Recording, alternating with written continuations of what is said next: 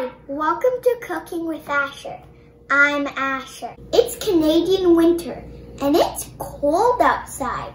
I need some warm comfort food. One of my favorite pasta dishes is spaghetti carbonara. I've had a lot of spaghetti in my time. Some good, some not so good. I'm going to teach you how to make this good. Carbonara comes from the Italian word called carbonara, which means charcoal burger. And carbonara is known as coal miners' spaghetti. In my experience, when in Rome, do as the Romans do. And when cooking Roman food, like carbonara, cook it as the Romans do. Recently, I've watched a video called Vincenzo's Plate, and he knows his stuff, Vincenzo. So I'm going to follow his recipe. What you'll need is spaghetti, pepper, eggs, and a delicious pecorino romano.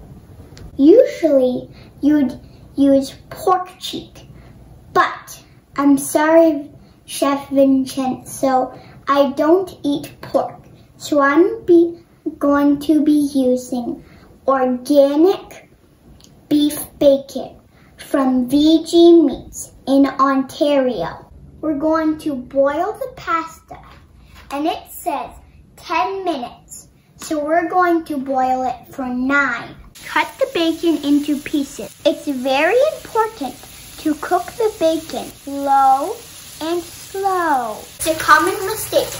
Don't scrape the pasta. Oh, this is going great. Now we're going to be making the sauce. It's just me and Daddy, so we're going to be using two eggs and one for good measure.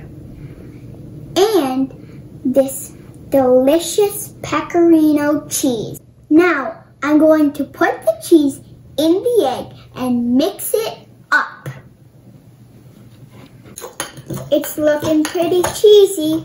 Don't use cream. You don't need cream. We're mixing the spaghetti into the bacon and I'm ladling the pasta water into the pasta.